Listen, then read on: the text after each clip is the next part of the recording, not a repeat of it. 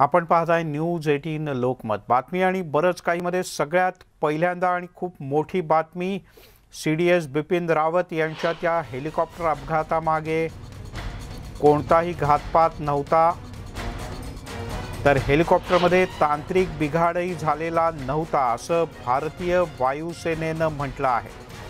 C D S Bipin Rawat यांच्या अपघाताचं प्रकरण या प्रकरणात वायुदलानं चौकशी समिती नेमली होती कोर्ट ऑफ एन्क्वायरी आणि त्याचा अहवाल समोर आला आहे खराब वातावरणामुळे हा अपघात झाल्याची माहिती या अहवालातून देण्यात आली आहे. ही आहे या क्षणाची सगळ्यात मोठी आणि महत्त्वाची माहिती. अधिक माहिती घेऊयात. संदीप बोल अपने सीनियर कॉरेस्पॉन्डेंट दिल्ली से आपल्यासोबत आहेत. संदीप जी क्या विस्तृत जानकारी है इस रिपोर्ट के बारे में? देखिए, आठ दिसंबर को जब कन्नूर में हेलीकॉप्टर क्रैश हुआ था मी सेवनटीन, जी फाइव, जिसमें सीडीएस सहित कुल मिला के चौदह लोग जो है उनकी जान चली गई थी। उसके बाद जो है, भारतीय वायुसेना ने एक tri service court of inquiry order की थी, जिसकी रिपोर्ट पिछले हफ़्ते ही जो है, वो रक्षा मंत्री को सौंप दी गई है। और उसके बारे में आज आधिकारिक तौर पर रक्षा वायुसेना की तरफ़ से जानकारी दी गई, जिसमें साफ़ कहा गया है कि जो दुर्घटना वो मौसम की वजह से हुई थी और किसी भी तरीके की कोई लापरवाही या हेलीकॉप्टर जो है वो उसमें किसी तरीके की कोई कमी नहीं थी।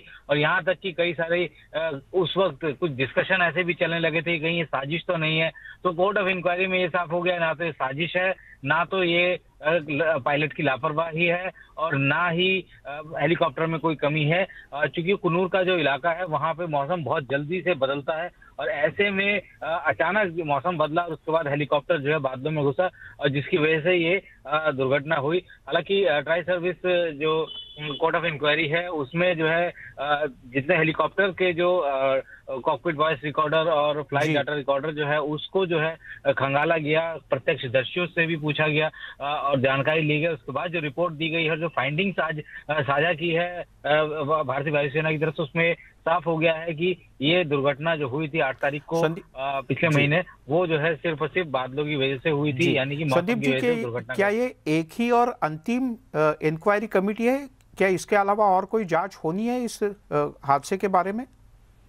नहीं नहीं, देखिए, अभी ये चूँकि एक क्राइटेरिया होता है, कभी भी कोई भी हेलीकॉप्टर या या कोई ऐसा एयरक्राफ्ट क्रैश होता है तो जो चूँकि भारतीय वायुसेना का हेलीकॉप्टर क्रैश हुआ था तो कोर्ट ऑफ़ इंक्वायरी जो है भारतीय वायुसेना की तरफ़ से बुलाई गई थी, और चूँकि मामला सीडीएस का था, और सीडीएस जो है, वो तीनों फोर्सेस के इंटैक्ट कोऑर्डिनेशन के लिए जो है वो स्पोर्स को क्रिएट किया गया था। इसीलिए जो है तीनों सर्विसेज़ के जो एक ट्राई सर्विसेज़ एक कोर्ट ऑफ़ इंक्वायरी जो है ऑर्डर की गई थी। इसके बाद अभी कोई दूसरी इंक्वायरी जो है वो ऑर्डर नहीं होगी इसमें क्योंकि इंक्वायरी में जो फाइंडिंग्स मिली उसमें साफ़ हो गया है कि किसी भी तरीके कोई भी उसमें गड़बड़ी की लापरवाही नहीं थी। मशीन बिल्कुल ठीक थी गड़बड़ी कोई आशंका नहीं थी। तो उसी के चलते जो अब जो रिपोर्ट आई है अब उसके बाद दूसरी कोई जाँच जो है वो इस उसमें नहीं होगी।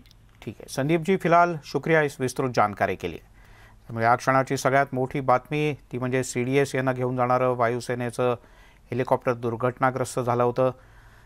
पण हा हवामानाच्या सगळ्या गोंधळामुळे झालेला अपघात होता. त्यात तांत्रिक बिघाड नव्हता किंवा घातपातही नव्हता असं आता समोर आलं आहे